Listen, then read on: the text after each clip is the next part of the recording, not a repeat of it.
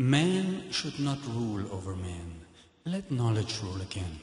The book of light, book of books, and savior of mankind. Aum.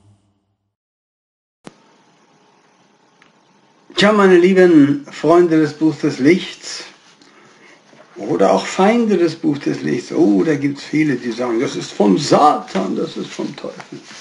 Ja, wenn alles, was Licht heißt, vom Teufel ist, dann dürfte da auch nachts die Beleuchtung nicht einschalten. Also, kommt mal wieder ein bisschen auf den Boden, ja?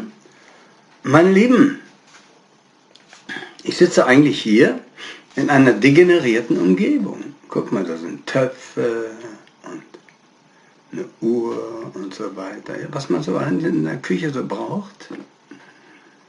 Es gab mal eine Zeit, da brauchten wir gar nichts. Da brauchten wir uns nicht zu kochen. Da musste man das Essen nicht zubereiten.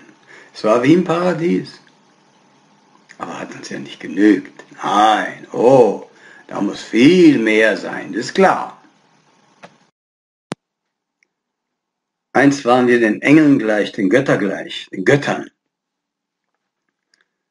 Wir trugen, wir hatten nicht diese Körper, wir hatten feinstoffliche, leuchtende, gleißende, schönfarbige, astrale, ätherische Strukturen, ja? So rein waren wir. Und dann verdichteten wir uns zu der Kack- und Pissmaschine von heute.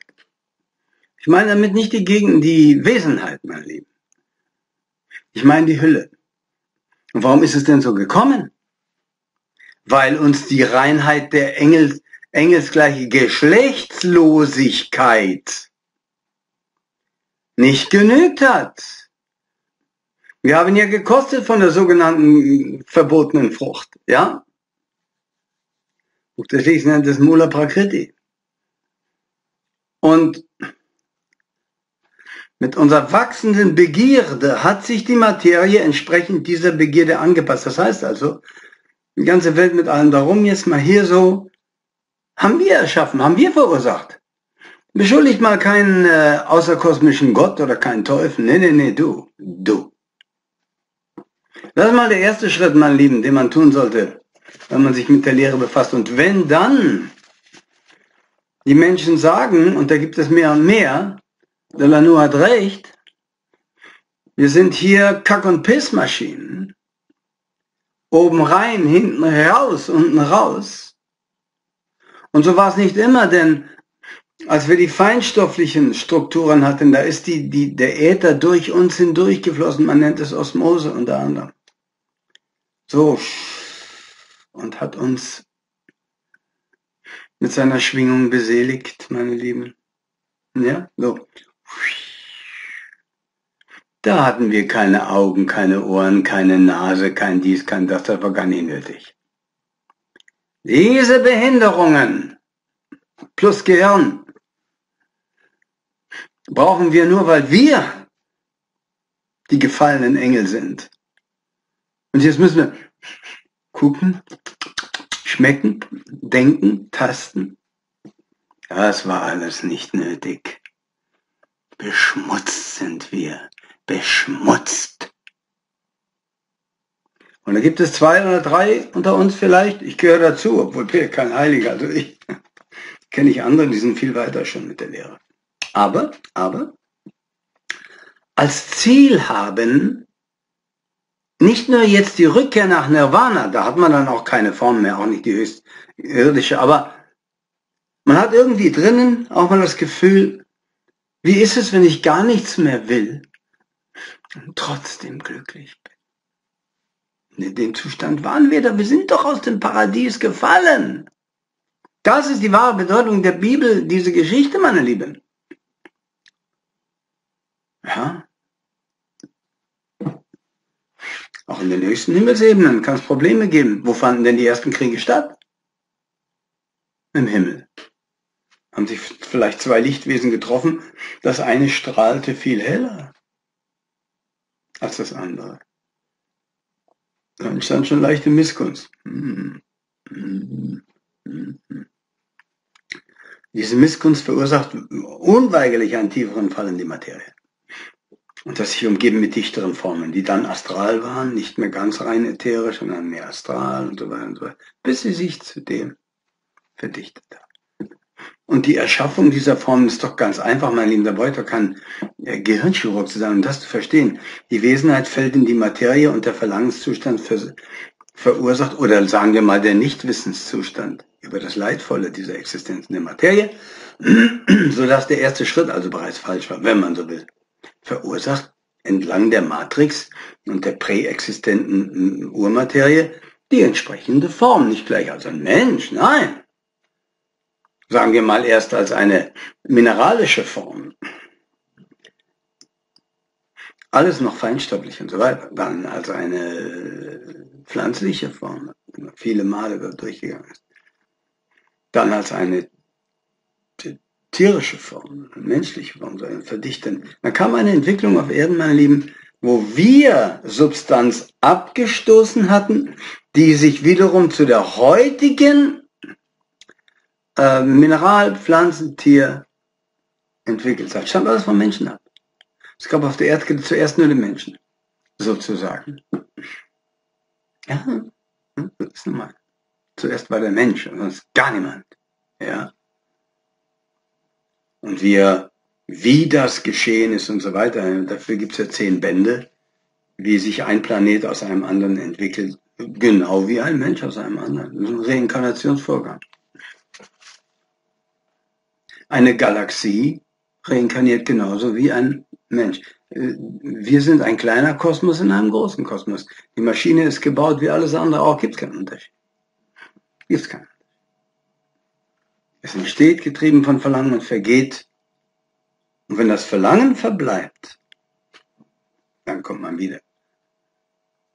Schlimm ist nur, wenn man auf dem aufsteigenden Bogen ist, hin zurück zum, zum Geistigen, wohin wir uns allgemein jetzt befinden, und man dann immer noch ein tierisches Verlangen hat, dann wird man in einer antagonistischen Umgebung geboren werden. Dann wird man in einer Umgebung geboren, wo das nicht mehr apropos ist. Da wird man angeschaut, äh, so lernt der Mensch. So, und wenn wir, und heute wollen wir mal sprechen, meine Geliebten, über die Sittenreinheit, ja, da haben viele ein Problem damit, denn an sich hat es damit zu tun, das Verlangen nach sinnlichen Vergnügungen hält sich in Maßen und unterstützt von der Lehre wächst das andere in uns, das Geistige. Aber beides geht nicht. Ich kann nicht ein Hurenbock sein und zugleich das Buch der Licht studieren und hoffen, dass sich das jetzt verbessert, denn ähm, dann wird es schlimmer. Also heutiges Thema ganz wichtig, mal die Sittenreinheit, meine Lieben. Ja, mal sehen, was damit gemeint ist. Das kann man ja, das kann man ja vergleichen. Ich nehme jetzt hier mal Auszüge vom Buch des Lichts. Man kann es vergleichen mit einem wilden Tier, das gezähmt wird. Fragt mal jeden Angeklagten vor Gericht, warum hast du den umgebracht? Ich wollte es nicht, ich wollte es nicht. Ja, ja. Nicht? Und da sehen wir, dass wir gar nicht das sind. Weil das will viele Dinge, die wir nicht wollen. Wir vertuschen das, wir lenken uns ab, wir schauen TV, wir hören unseren Volksverrätern zu und so weiter. Aber in Wirklichkeit, ja, merken wir, da stimmt etwas nicht. Und, und, in uns ist das Verlangen nach, das ist eine Erinnerung an eine Zeit, wo es schöner war. An einen paradiesischen Zustand. Kein Penis, keine Scheide, keine Brüste, kein After, kein nur fließende, ätherische, reine Substanz. Wie gab es da eine Vervielfältigung? Ja, Reproduktion. Immer mit dem Buch des Lichts. Diese astralen Formen haben sich einfach geteilt. Sind dann riesige astrale Zellen. Übrigens in der, in der menschlichen Entwicklungsgeschichte war es vor Millionen von Jahren so, dass wir zunächst mal auch, trotzdem wir schon Menschenreich waren, große astrale Zellen waren. Die große astrale und dann sich verdichtende protoplasmische Zellen, wird im Buch der alles beschrieben. Und vermehrt haben wir uns so, wie es in der Bibel steht. Eva kam aus der Rippe von Adam, ist eine Allegorie, ist ein Symbolismus. Aber Die Wahrheit ist, dass das passiert, ich habe es in, den, in dem Vortrag mit Mann und Frau erklärt. Ja, man kann gar nicht die Wahrheit oft genug wiederholen.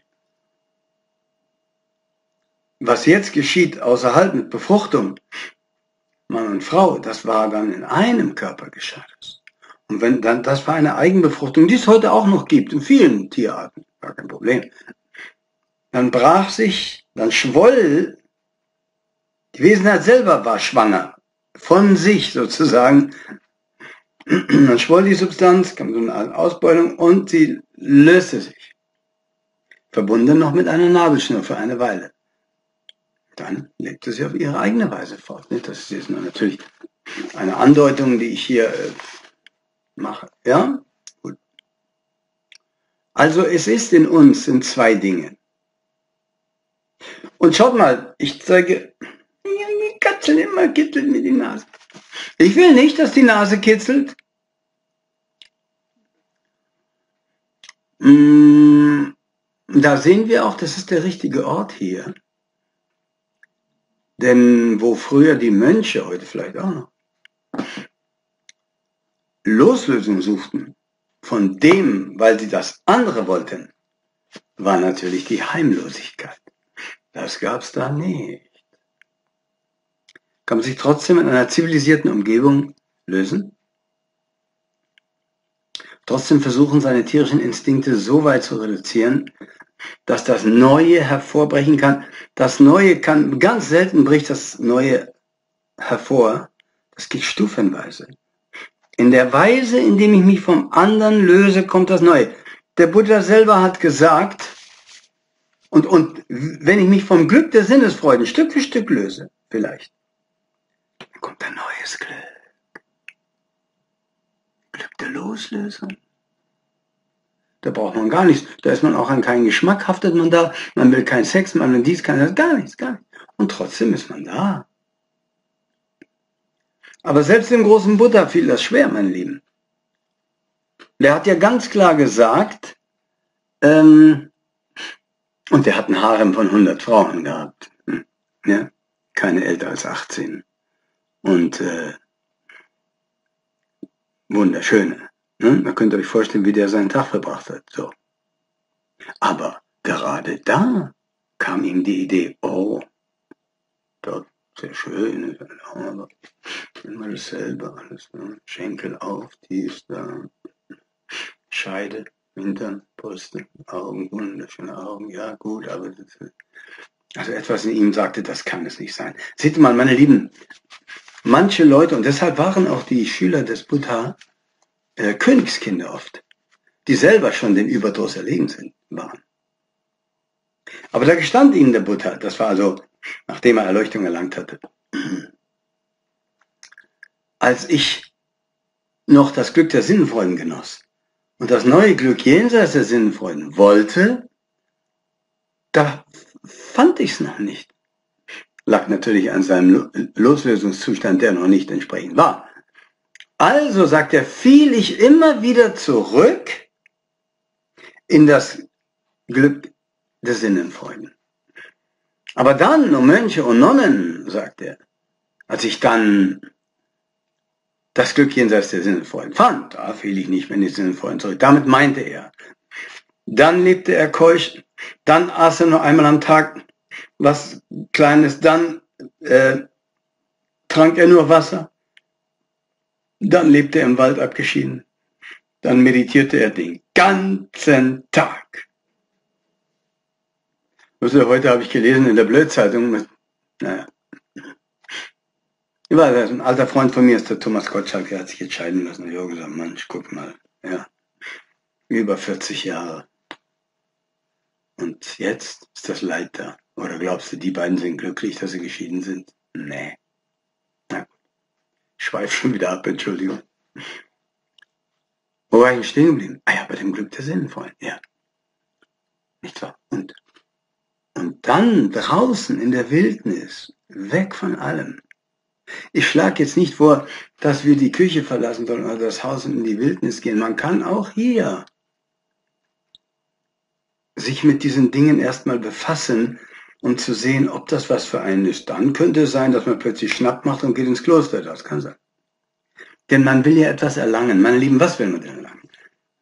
Warum soll ich denn was aufgeben, wenn ich nichts dafür kriege? Das ist Unsinn. Das ist nur für, für Träumer. Ja, ich bin Realist. Je mehr ich Maß halte, umso mehr merke ich, da kommt was Neues. Ich kann doch gar nicht sagen genau, was es ist. Da was. Oh, oh, oh, oh, oh. Und natürlich gibt es Rückfälle. Ist doch ganz klar. Wir haben in unserer Gruppe bei VK wunderbare Menschen, auch ganz junge Menschen, die sich das schon vorgenommen haben, alles loszulassen. Und dann kommt natürlich das Kundalini, dann kommt der Hüter der Schwelle, dann kommt dann wird alles aufgeweckt und sagt, tu's nicht, tu's nicht. Jetzt geht der Kampf los. Und er hat damit nichts mehr zu tun, nichts mehr zu tun damit. Ja. Sondern das ist ein der wirkliche Held. Dagegen ist ein Boxer ein Schwachkopf. Oder sagen wir mal lieb gesagt, ein Weichei. Dagegen ist Mike Tyson ein Weichei. Weichei. Und der hat's ja auch erfahren und ist ja schon auf dem Loslösungsweg. Er hat seine neue Frau getroffen. Er ist, er ist Rohköstler geworden. Und wenn du den als Boxen ansprichst, sagt er, bekloppt, ich boxe doch nicht mehr.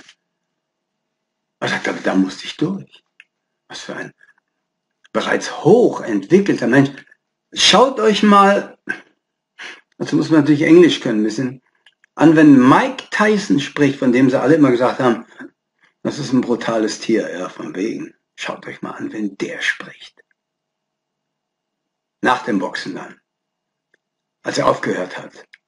Da seht ihr einen begnadeten Philosophen.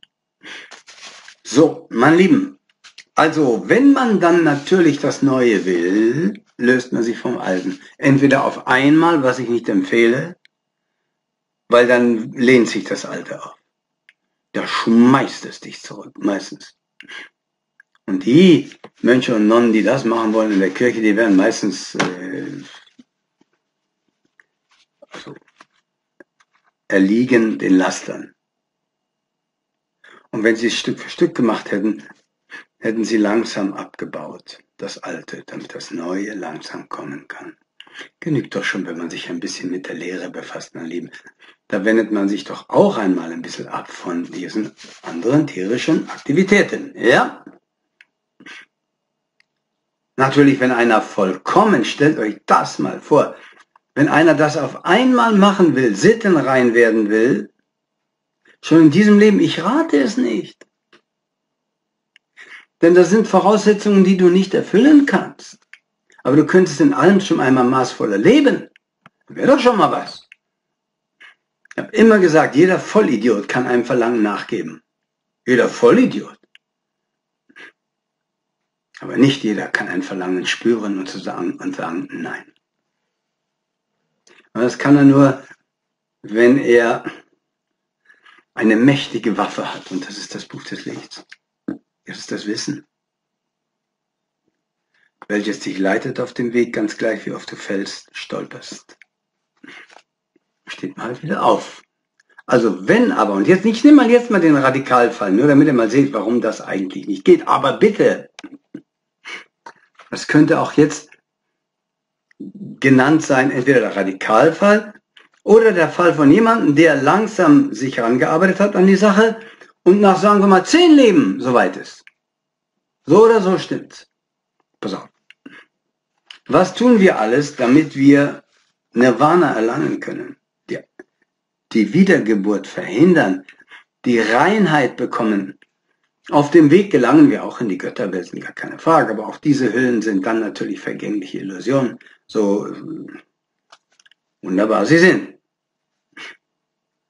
Ja, passt mal auf, könnt, könntet ihr das, wenn, wenn, wenn ihr, wenn ihr jetzt sagt, Nanu, ich will in diesem Leben Nirvana erlangen, könntet ihr das wirklich schaffen? Pass mal. Ihr dürftet zunächst mal nichts Lebendiges mehr umbringen. Oh, ganz klar kein Fleisch mehr essen, kein dies, kein das.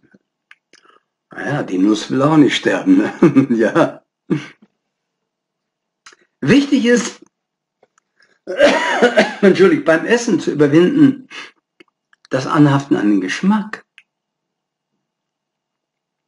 Schau mal, die Leute essen doch auch haupt, hauptsächlich nur Fleisch, Tierleichen, weil sie vorher mit Salzen oder schön mit Gewürzen und so, ja, schöne Soßen und dann schmeckt man die Leiche nicht so sehr. Verstehe ich schon. Also man lebt natürlich äh, veganisch, Obst, Gemüse, Salat, außer Ende, außer Ende. Wenn man das denn, ja. So, dann trinkt man nur Wasser. Trinkt man nur Wasser. Da entsteht dann irgendwann einmal ein Gefühl der Befreiung, der Leichtigkeit, nicht nur weil man mit diesem Essen so beschmutzt und behaftet ist, die meisten Leute fressen ja zwei, dreimal am Tag mehr sogar. Das ist auch verständlich. Wenn die Zivilisation, normalerweise ging der Bauer früher ins Bett, wenn die Sonne unterging und ist aufgestanden, wenn sie aufging. So, die Sonne geht dann nicht unter, nicht auf, okay. Und heute durch, natürlich durch die Erfindung des elektrischen Stromes, des Lichtes, elektrischen Lichtes, tja, hat sich alles verändert durch die Erfindung der Antibabypille. Und keiner weiß, dass durch die Benutzung dieser Pille die Krebs äh, immens ansteigt, ansteigt, Unterleibskrebs und so weiter. Naja, bin wieder abgeschweift. Also, zunächst einmal ist zu sagen, nichts töten, man hat zu allen Wesen Liebe und Mitleid. ja, auch zu den Nüssen und Tomaten, aber irgendwas muss man essen, gell? Dann gibt es dann die, die Ginas, die essen gar nichts mehr, die trinken auch nichts. Die setzen sich hin und warten, bis sie umkippen mit einem fiependen Ton. Das will ich aber keinem empfehlen. Und die Familie ist um sie versammelt und die haben da schon eine Verbindung mit den Göttern. Die spüren zumindest schon die Götterwelt. Dann sitzen sie da, das dauert manchmal eine Woche, zwei, drei. Und dann. Oder.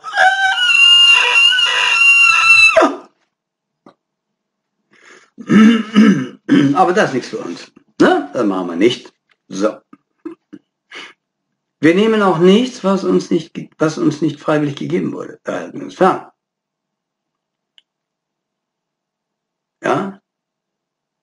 Wir sind nicht diebisch gesinnt, wir sind rein gewordenen Geistes, versuchen wir.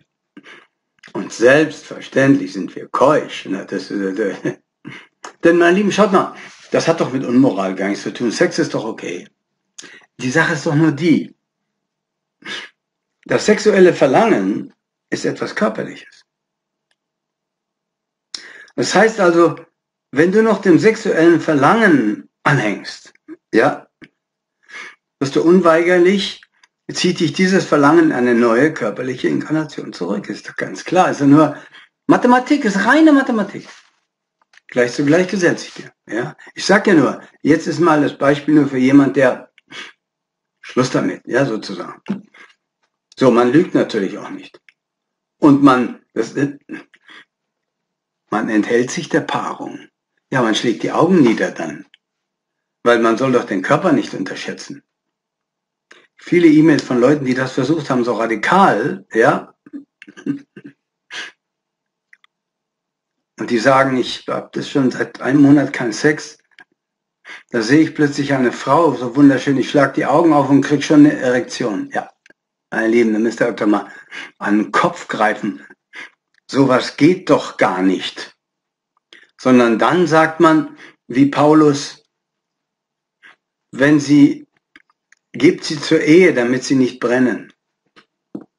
Da wäre der erste Schritt zur Heirat, sich auf eine Frau zu konzentrieren. Eine Frau.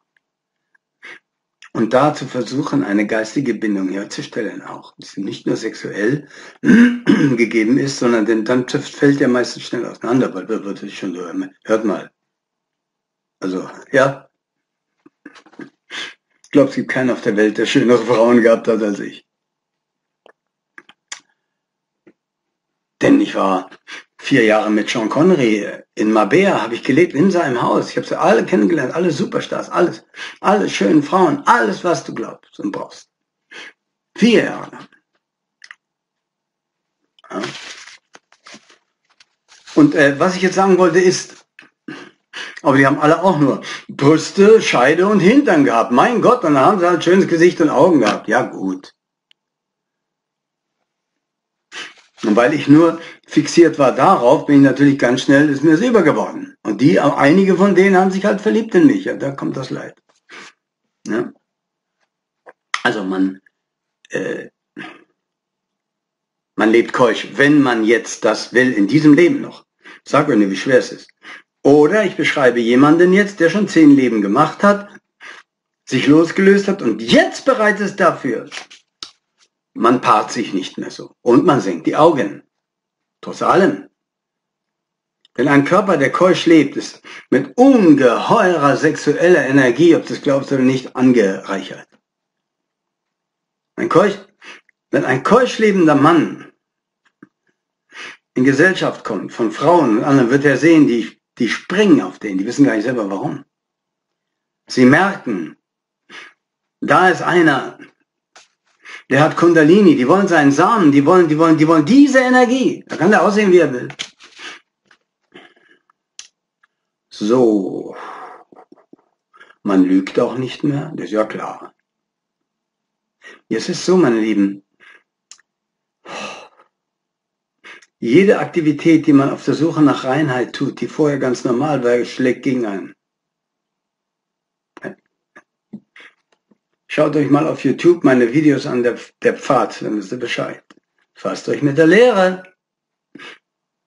Ich habe neulich wieder eine in meiner Gruppe gehabt. Sag, musst meditieren, da sagt er, oder sie war es, glaube ich. Wie kann ich meditieren, wenn ich andauernd an die Probleme in der Welt denken muss? Ich sage, komm, besorg dir doch mal das kleine Büchlein Seelenartenmeditation. Du wirst in einen Zustand kommen, wo du nicht mehr denkst und trotzdem da bist. Man kann auch die Gedanken bezwingen. Durch Beobachtung, durch Achtsamkeit, dann verschwinden die. So, man spricht die Wahrheit. Und sagt man heuchelt nicht, man schmeichelt nicht mehr. Man richtet nicht aus. Was man gehört hat, sagt man nicht weiter. In dem Sinne, dass man sagt, oh, ihr habt es gehört. Die Frau Meier, die ist jetzt mit zwei Negern. Ja, ja. Mhm. Also, man will keine Menschen entzweien. Naja, Jesus sagt, ich bin gekommen, dich deiner ganzen Familie zu entfremden. Das ist natürlich eine andere Sache. Das mache ich jetzt auch natürlich, in gewisser Weise, weil ich von einer Loslösungslehre berichte. Ja. Und wenn man das ähm, konsequent zumindest mal durchdenkt, kann es sein, dass die Umgebung plötzlich gar nicht mehr passt. Schon nach ein paar Tagen. That's a problem. Meine Lieben, ich gebe es nur weiter.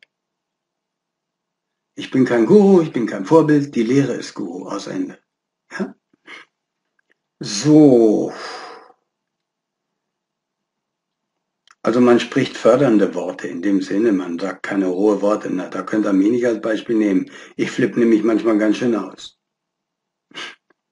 Und sagt die katholische Kinder, äh, die katholische Kirche diese perverse Kinderficker-Sekte. Ja, das habe ich schon mal gesagt.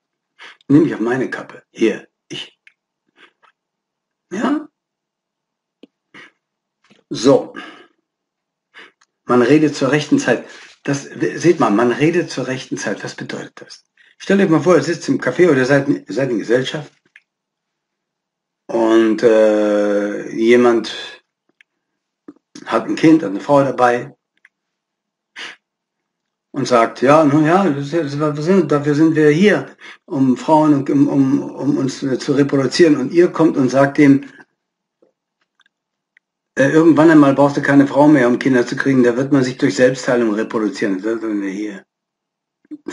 Nur als Beispiel, ja. Oder du sagst dem, wäre besser für dich gewesen, keusch zu leben. Oder so ein Quatsch. Das sind Dinge, die man zur unrechten Zeit dann sagt. Das sagt man nicht. Das sagt man nicht. Einmal am Tag isst man. Man ist nüchtern. Ja. Und jetzt kommt's. Da wäre ich für dieses Leben schon ungeeignet. Ich komme gerade von einem Auftritt, da waren Tausende von Menschen. Man hält sich fern von Tanz, Gesang, Spiel, Zaustell äh, Schaustellungen. Hält man sich fern. Die einzige Musik, die man sich anhört, ist vielleicht die Mantra vor der Meditation. Dann schaltet man die Mantra ab und dann meditiert man. Selbst die schönste Musik ist für einen, der Loslösung will, wie Schmutz. Warum? Na, weil sie das Hörorgan aktiviert. Wahre Existenz, wahre nirvanische Existenz ist frei von Sehen, Hören, Fühlen, Schmecken, Tasten und Riechen und vom Denken. Da haben wir auch kein Bewusstsein mehr. Wir sind praktisch bewusstlos. Aber wir sind dann die Wahrheit. Vorher sind wir es nicht.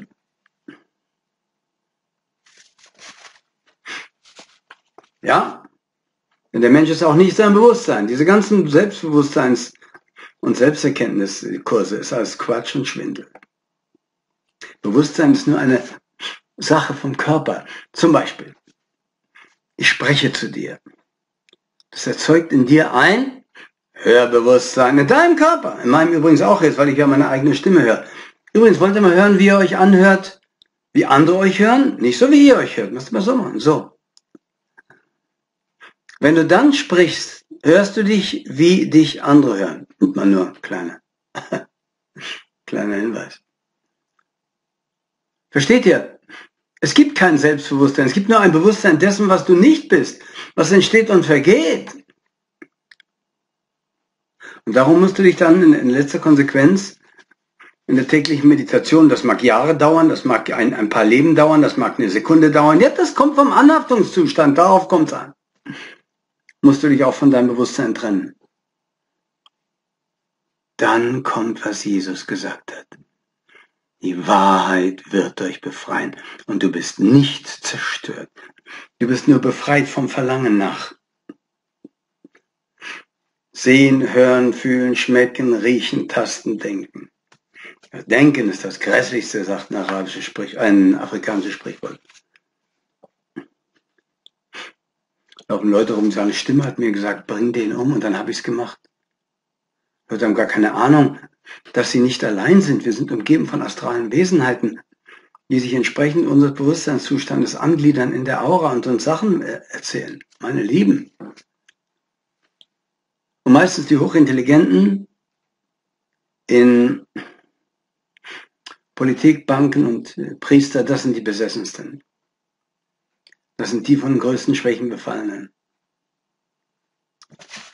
Und die treiben es so weit wie Babyessen oder was weiß ich, satanische Riten. Naja, wollen wir heute nicht im Detail darauf eingehen, ja?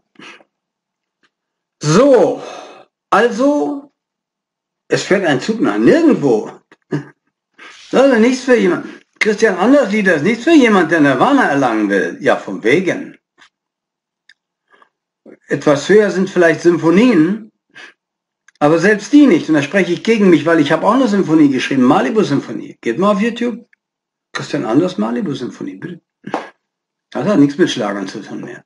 Dennoch ist auch die eine Belästigung, eine Störung. Warum? Na, weil sie gerade die Ohren vielleicht mehr entzückt als ein Schlager und damit eine Anhaftung verursacht. Wer hat mich verstanden?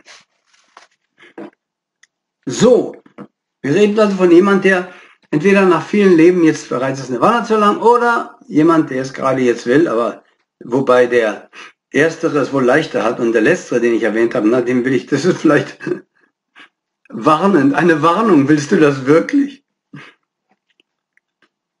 So. Man hat keinen Sex. Man gibt sich nicht mit Frauen und Mädchen ab. Macht man nicht, macht man nicht.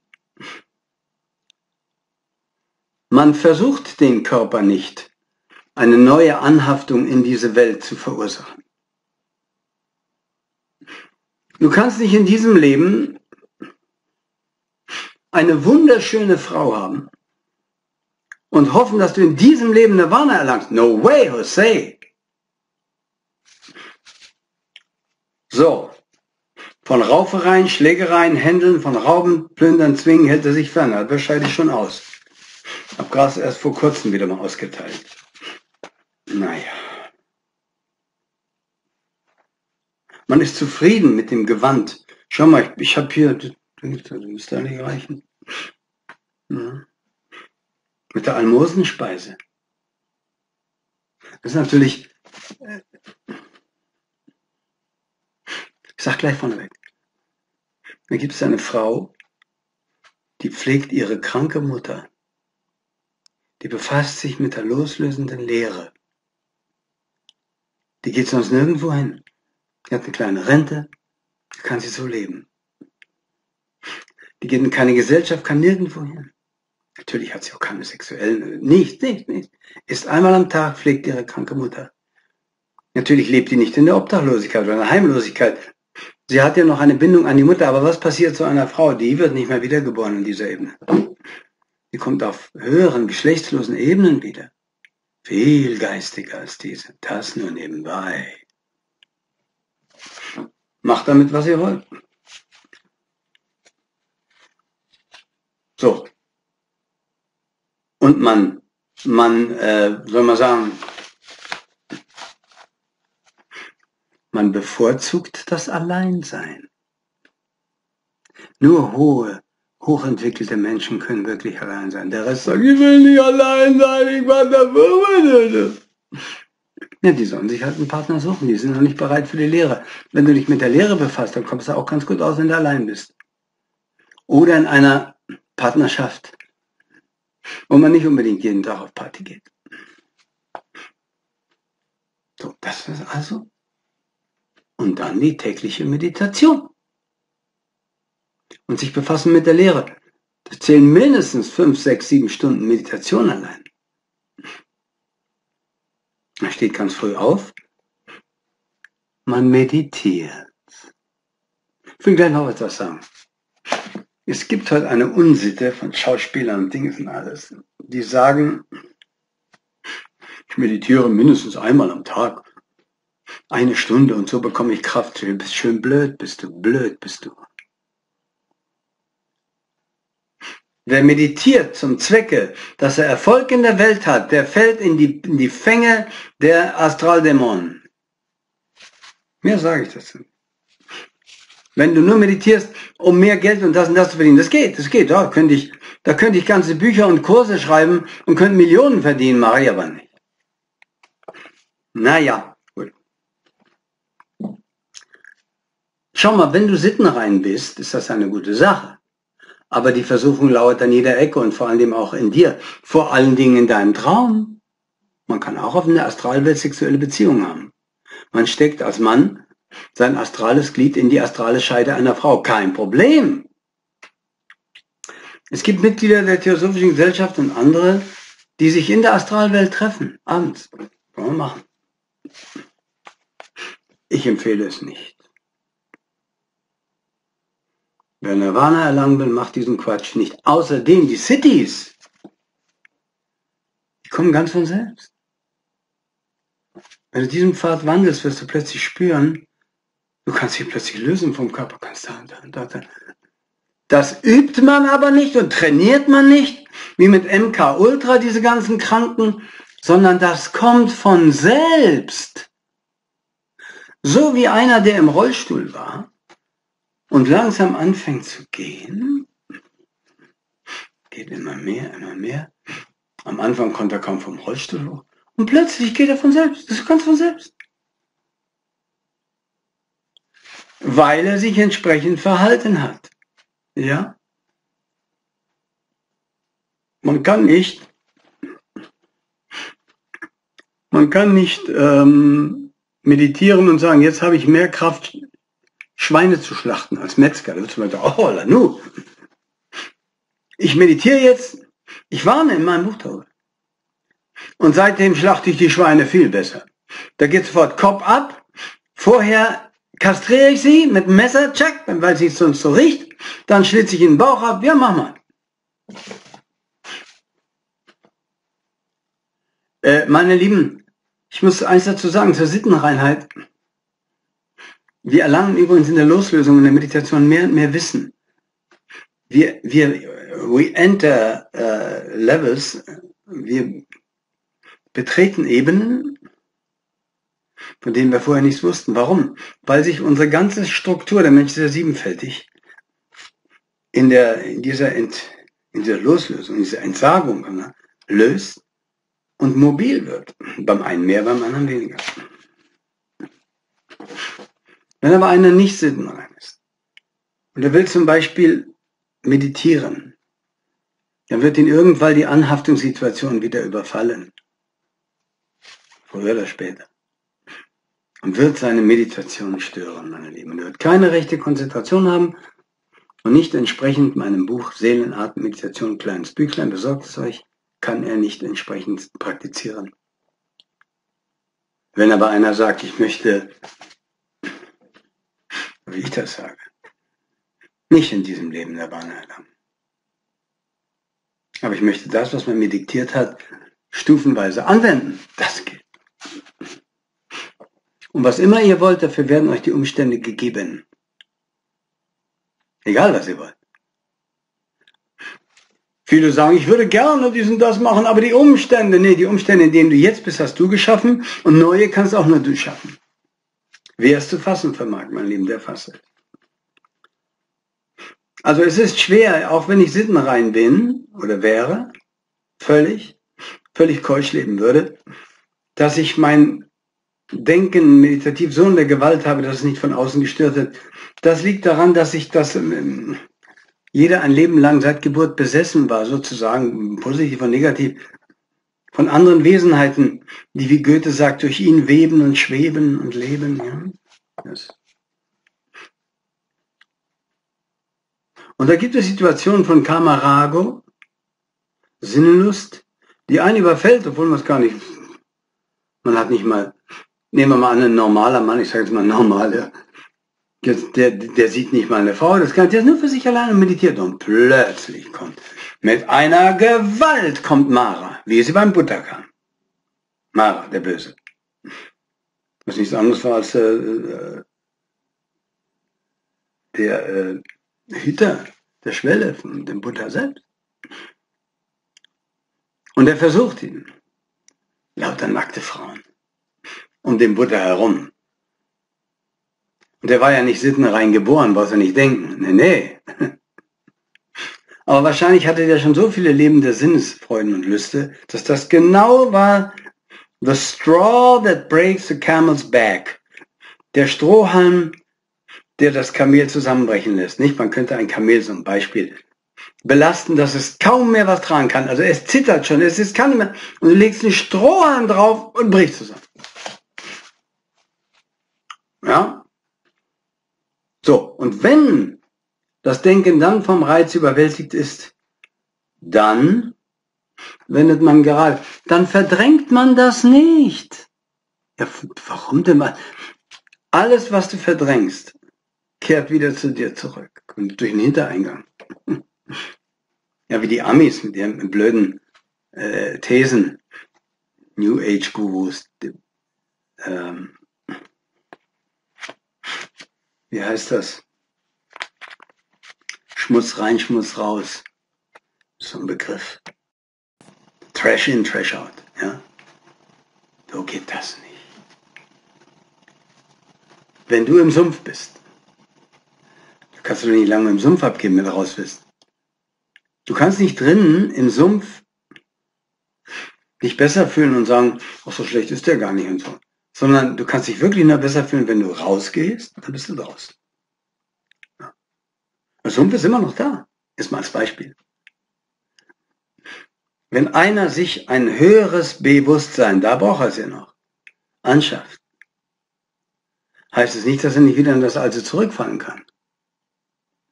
Hier geht ruckzuck. Es lauert ständig.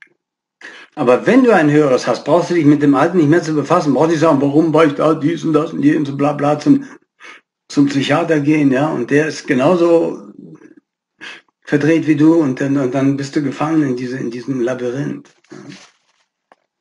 Sondern jeden Tag durch die Lehre sich einen gewissen Bewusstseinsstand anzueignen, der einen ein bisschen aus dem Sumpf des täglichen Beballertwerdens raus.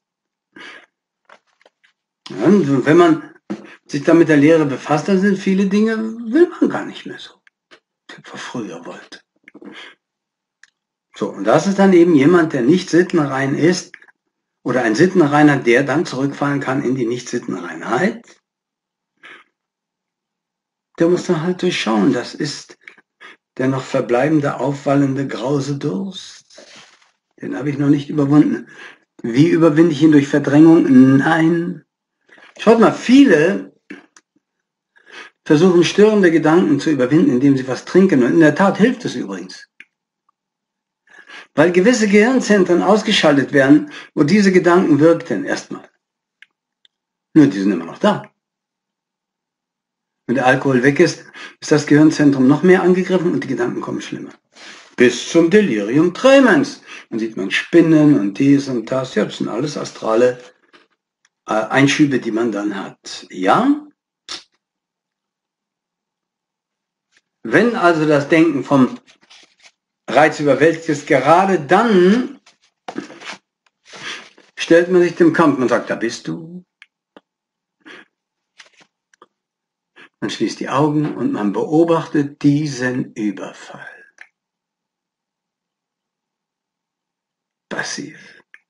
Und wenn es dich den ganzen Körper schüttelt. Denn durch die Lehre weiß man ja schon, dass nur das Anatar geschüttelt wird. Ist nicht selbst. Ja? Und das sind dann Verwüstungen, die kommen können. Gerade zu dem der Heiligkeit will, zum Mönch, zur Nonne. Darum sage ich immer, das ist nichts für euch auf einmal. Ich mach's nicht, aber. Schaffe ich nicht. Ich sehe ganz klar die Richtung, ganz klar. So. Denn ich meine, man könnte auch sagen, ich gebe dem Verlangen nach, Songe fühle ich auf und fresse und Hur und sterb. Ja. Dann schaut immer um in der Welt. Wie viele schon geboren werden, halt wahnsinnig. Die haben auch gesagt, ich sauf und fresse und Hur. Und jetzt haben sie es. Werden durch Säuferfresserhuren ge geboren. Ja, Mike Tyson, dieser wunderbare Philosoph, hat gesagt, meine Mutter war eine Prostituierte, mein Vater war ein Zuhälter. Und mit 13 Jahren, sagte, habe ich schon die ersten Erwachsenen umgehauen. Auf der Straße. Mit 14 kam er zu Castamato, dem Boxtrainer, und hat da den Europameister umgehauen. 14 Jahren. Der hat noch gar nicht richtig gewusst, wie Boxen geht. Ja, ja. Übrigens ganz nebenbei. Die Straße ist nicht der Ring. So, also. Man nimmt eine Mahlzeit ein. Das ist schon, das ist schon ganz unmöglich, ja. Was die Leute sagen, ich esse abends, da habe ich vielleicht gerade Zeit. Genau dann ist falsch. Zur Unzeit gegessen. Das Zeug bleibt im Magen, gärt und am anderen Tag wachst du auf und furzt und machst dies und jenes und holst dir Darmkrebs irgendwann. Entschuldigung, wenn ich das mal so sage. Ja. Man meditiert einmal am Tag für jemand, der natürlich entsagen will. Dann setzt man sich hin und meditiert. Also man, entschuldigt, man isst einmal am Tag. Und dann so ein paar Stunden.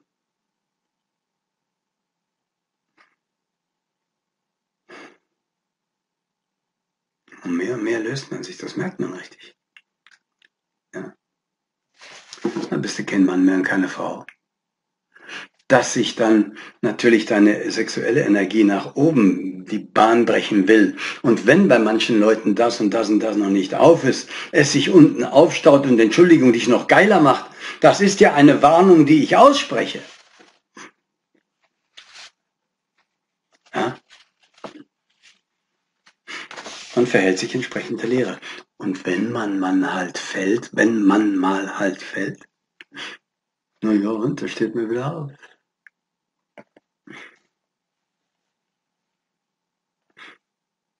Und so müht man sich, so ringt man. So ist man voll Hingabe unermüdlich, bedachtsam, konzentriert.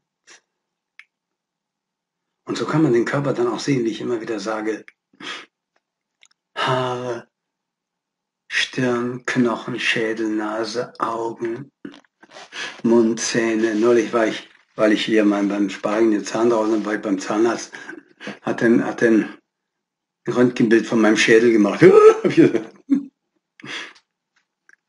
Hals, Herz, Lunge, Urin, Kot, Darm, Flüssigkeit, dies, das, Genitalien und so weiter und so weiter. Ja. Ja, schaut man alles an mit, mit, rechter, mit rechter Betrachtung. Ja. So schaut man sich mal an und sagt, das bin ich nicht. Ich will nicht aufs Klo. Oder willst du aufs Klo? Nee, komm. Du gehorchst deinem Körper. Deshalb heißt es ja auch Notdurft. Ja, ja. Notdurft. Wow. Und meine Lieben, das ist ja auch eine Sache, die ich immer wieder erwähne, Sittenreinheit. Oder, oder, na gut, wir reden jetzt von extremer Sittenreinheit, aber ein maßvolles Verhalten in allem ist, also selbst das ist ohne die Lehre nicht möglich. Weil das Buch des Lichts ist das Buch der Konsequenzen und du kennst die Konsequenzen nicht. Und dann machst du irgendwas und darauf wird schon nicht schaden. Aber wenn du dich mehr, mehr mit den Konsequenzen befasst, wirst du irgendwie. Ne? Ja, wenn nicht, dann lernst halt so, mein Gott. Also deshalb Sittenreinheit und die Lehre, also kann man sagen Weisheit der Lehre, das Buch des Lichts, das, das ergänzt sich.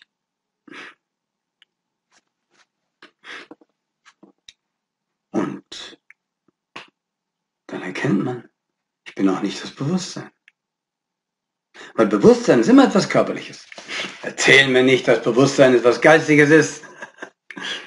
Denn auch der Geist ist nach Buch des Lichts feinst stoffliche Materie. Die Wesenheit selbst hat damit gar nichts zu tun, die ist Arupa. Non-materiell. Ist ganz außen vor. So, und was die Religionen und die Kirchen und die Koran und die Bibel und der Geist verstehen, Existenz im Himmel, das Existenz mit einer geistigen Hülle im Himmel. Ja, stimmt, stimmt. Aber auch die bist du nicht, auch die zerfällt und damit auch dein Himmelsleben. Erst zu fassen vermag. So. Und dann schaut man sich die Elemente an. Es gibt das Wasser, es gibt das Feuer, es gibt Luft, die Erde, die vier Elemente. Und die sind ja auch in dir selbst. Das bist, da, da, daraus bestehst du auch selbst. Warum? Eigentlich bestehst du nur aus einem Element. Jeder Alchemist wird mir recht geben. Mula Prakriti Urmaterie. Das ist Urmaterie in unterschiedlicher Schwingung. Ich habe gesagt, die Materie ist vergänglich, die Materie ist ewig. Oh, jetzt hat sich der Lanu widersprochen. Die Materie ist zeitlos ewig unsterblich, aber veränderlich in der Form. In dem Maße, in dem du an der Form anhängst, die du gerade bekommen hast, wenn die sich verändert, ja, in dem Maße stirbst du dann. Und leidest und sagst, es war doch so schön, zu sehen, zu riechen, zu sprechen, zu hören, zu äh, tasten, zu schmecken, zu, ja, denken. Und noch voll ergriffen von dem Verlangen kommst du wieder und suchst dir wieder ein Elternpaar aus, in dem das funktioniert. Und wenn die Menschheit wieder ungeschlechtlich ist, dann suchen sie halt eine ungeschlechtliche Situation aus. All the same. Und das ist eben durch den Einblick in den Körper, und das sagt er immer und immer wieder, erfährst du wahre Unsterblichkeit, welche ist Kein Verlangen nach Sehen, Hören, Fühlen, Schmecken, Tasten, Denken. Und damit identifizieren sich die meisten. Und damit haben sich auch schon ihr Todesurteil, übrigens ihr Lebensurteil und ihr Todesurteil geschrieben. Also das bringt sie ja zurück, aber das lässt sich ja wieder schreiben. Warum? Weil Mulla Prakriti, die zeitlose ewige Urmaterie, die gehorcht. Die nimmt die Form an, aber nach einer Weile sagt sie, ich will, will wieder Equilibrium. Und die Form das ist wieder wie so ein, die ruhige Oberfläche eines Sees, ja. Und man sagt, wo ist die Form? Mit der ich mich identifiziert habe. Der Heilige weiß natürlich. Was macht der Heilige, der Meister? Der geht voll bewusst in die Form rein, verlässt den Urgrund, wie er will. Nimmt sie an und weiß, die ganze Zeit, das bin ich nicht. Aber der normale Mensch, fragt doch mal einen normalen Mensch, wer bist du? So, ich bin mein Körper. Ja. Beschaulich betrachtet man diese Sachen, meine Lieben. Denn auch die Sonne ist natürlich der Körper einer Wesenheit, die unterliegt demselben Gesetz wie ich auch. Die wurde geboren, lebt und stirbt. Stirbt halt, lebt halt länger als ich. Ne? Aber auch sie wird eingesogen in den Urgrund. Dann machst du einmal flöpp und da ist alles wieder weg. Und was verbleibt dann, mein Lieben, wenn alles wieder im Urgrund ist? Der Urgrund, alle Wesenheiten, die Urmaterie. Das war's schon. Ja, wer ist nicht? Wer ist? Du bist Gott. Wenn du aus dem Urgrund wieder rauskommst, umgibst du dich mit der Erfahrung der vergangenen Inkarnation mit neuer Materie und wirst auch natürlich assistiert karmisch, Entschuldigung, mit Wesenheiten, die dir Hüllen verpassen, damit du in der Umgebung dich auch da. Ne? Das ist so, als wenn du tauchen willst und jemand sagt, du brauchst einen Taucheranzug. Du gehst hin, dann macht er dir einen Taucheranzug. Du gehst auch runter. Tägliche Meditation, so macht man das. Denn, äh, meine Lieben, ich kann euch doch hier ein Märchen erzählen, tausend und eine Nacht. Ihr müsst doch in der Lage sein, das zu verifizieren. Das geschieht in der Seelenartenmeditation. Die Lehre, guck mal, die Lehre auch. Weil die Lehre ist uralt, die kannten wir schon vor Billionen von Jahren. Und irgendetwas in dir sagt, Mensch, das stimmt. Und du weißt immer warum. Bei den anderen Lehren sagst du auch manchmal, stimmt. Aber es sind nur Bruchstücke. Und du sagst wieder, da fehlt was. Aber beim Buch des Lichts sagst du, das stimmt. Boah, ich weiß nicht mal warum. Ja, jetzt weißt du warum. Du wirst es immer mehr wissen. Und die Wahrheit wird dich befreien.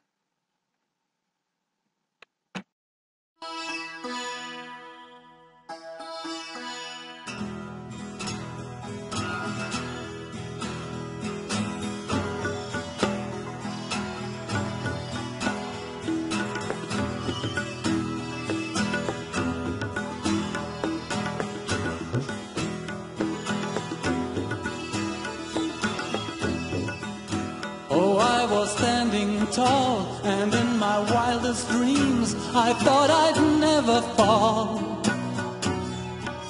The world was at my feet, and there was only me. I thought I knew it all. And then the moment came and set my life in flame, and I lost it all. And every move I made and every step I took was in vain. And in the middle of my darkest night, I see a star of hope shining bright. And suddenly I understand this is a lesson that I had to learn. Darkest night, I see a guardian angel by my side. He's telling me just walk the path and give your very best. And then I took a stand that this is not the end, but a new beginning. And I asked myself, what can I do to help? those who need me. And deep inside of me, I felt a secret key opening my heart. And then I realized that in the end I found myself again. And in the middle of my darkest night, I see a star of hope shining bright. And suddenly I understand This is a lesson that I had to learn And in the middle of my darkest night I see a guardian angel by my side just walk the path And give your very best And give your very bed.